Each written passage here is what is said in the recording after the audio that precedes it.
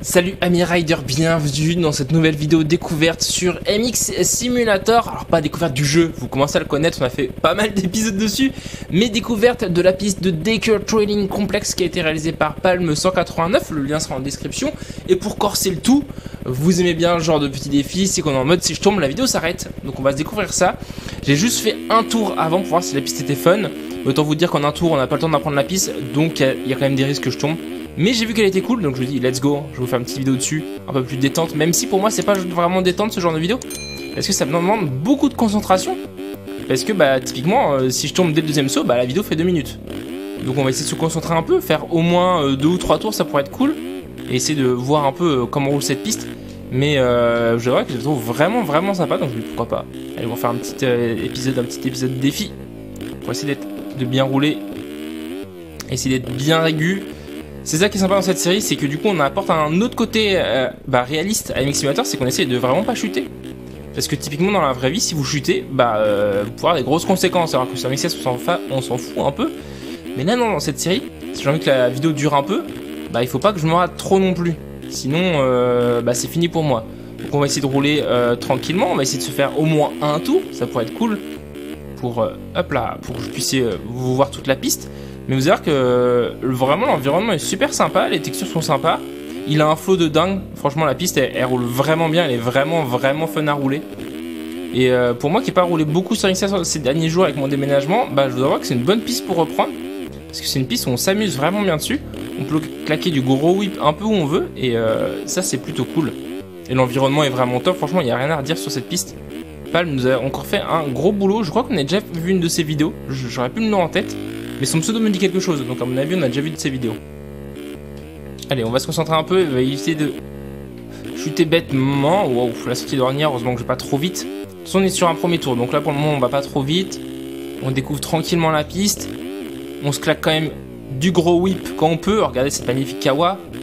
Et oui, je roule un peu en kawa en ce moment, ça fait plaisir. Que ce soit sur euh, Legends ou M Simulator. Le transfert, il passe Oui, il passe facile, mais attention au freinage par contre de l'avant. Ça fait être la fin pour vous, mais non. MX Way continue. Là, je crois que c'est une énorme table. Wow, par contre, elle envoie bizarre. Donc on va... Ouf, c'était chaud. Franchement, là, je me suis fait deux grosses frayeurs en peu de temps. Donc on, se souvient que l'énorme table ne se whip pas. L'appel, elle envoie bizarre. Il y a quand même eu un à-coup à l'appel qui m'a empêché de faire partir la moto. Et c'est le genre de chose qui peut faire tomber bêtement. Alors le saut va pas l'air très long, ok. Bah, je pense que là on a repris la start line, non? Oui c'est ça exactement, ok. Ce saut était vraiment court. Bon, un peu plus long que ça quand même, mais ils étaient vraiment courts les premiers. Avec la 450, on a tendance à vraiment vraiment s'envoler. On va essayer de se méfier tranquille. Au moins on a fait un tour, ça c'est cool. Là je pense qu'il y a moyen de faire transfert directement jusque là dans le virage. Mais autant vous dire que c'est euh, une chance sur 4 euh, de passer. Et donc beaucoup trop de chances de perdre les pieds pour ce genre de vidéo où euh, la moindre erreur peut nous coûter très très cher. On va essayer de transférer ici. Wow, wow, recep dans le sable. Ouf, enfin c'est pas vraiment du sable, c'est de la terre sableuse, mais euh, wow, j'ai eu chaud là, recep. Petite astuce MXS, hein, toujours quand vous êtes trop long, tapez toujours la roue avant premier sans gaz, sinon c'est la perte de pied assurée. Juste vous lâchez tout, vous piquez de l'avant, et ça devrait passer normalement. Dans 80% des cas, ça vous rattrape un, gros gros long. Et ça, ça fait plaisir. En tout cas, je sais pas ce que vous en pensez de la piste. Mais moi, je la trouve vraiment, vraiment sympa. Cette petite piste de palme là, elle roule vraiment bien. Elle est pas très compliquée, donc même si vous n'avez pas un niveau de fou sur MXS, je sais qu'il y a encore pas mal de gens qui débutent sur MXS. Donc euh, bah déjà bon courage à vous, parce que le jeu est loin d'être facile. Dites-vous que euh, si vous n'avez pas le jeu et que vous hésitez à l'acheter, imaginez-vous comment le jeu est dur. Bah dites-vous que c'est euh, encore plus dur que ça, que ce que vous pouvez imaginer. c'est vraiment vraiment complexe. Comme vous voit jouer forcément c'est facile, parce que j'ai je pense que facilement plus de 1000 heures sur le jeu, donc je commence à, bien comprendre comment il marche, même si je suis loin d'être fort sur le jeu. Mais voilà, j'ai un petit style et je m'amuse, euh, j'ai un niveau qui me suffit largement pour m'amuser, et ça c'est cool. Mais dites-vous que le jeu est vraiment dur, et ce genre de piste, c'est vraiment une piste qui, qui est pas trop complexe, parce qu'il n'y a pas de gros break bump, donc de gros trous de freinage. Les sauts sont plutôt faciles à prendre, ils sont pas trop longs, donc même en 250 ils passent plutôt bien. Et les virages sont plutôt bien faits, donc euh, c'est vraiment une piste qui est sympa aussi pour débuter. On va prendre ici, vraiment je pense qu'il faut pas prendre trop vite. Ouais, parce que sinon on arrive vite dans la montée. pareil, arrêter en montée, c'est pas le bon plan pour éviter de tomber. Pour le moment, on est sur, parti sur un, bon petit flow là. Ah, c'est celle-ci où il fallait pas whipper. Ok, merci. Et celle-ci qui en va vachement à droite. On va sauter vraiment à droite cette fois-ci. Oui, on est dans l'axe, mais un peu court. Mais euh, en tout cas, moi, ça me fait toujours autant kiffer ce petit jeu. Hein. Pas mal de jeux de motocross qui se développent en ce moment-là, donc c'est prometteur pour l'avenir de notre discipline.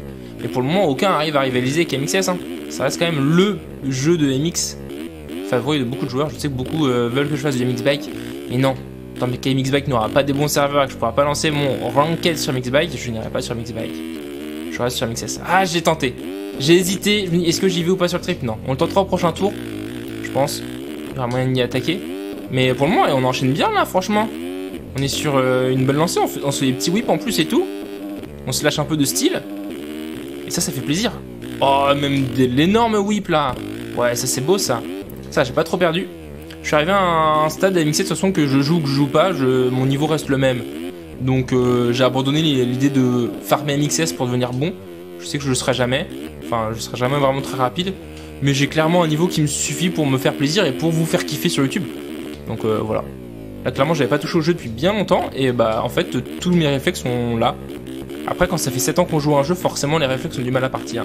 C'est comme un sport, même si vous pratiquez pas pendant euh, des mois et des mois, voire des années, bah, quand, vous allez reprendre, vous allez avoir plein de réflexes musculaires qui vont se remettre en place. Et puis au moment quand j'ai repris le dirt, bah, tout ce qui était manual, j'avais vraiment pas oublié, alors que ça faisait 3-4 ans que j'avais pas fait de manual dans ma vie.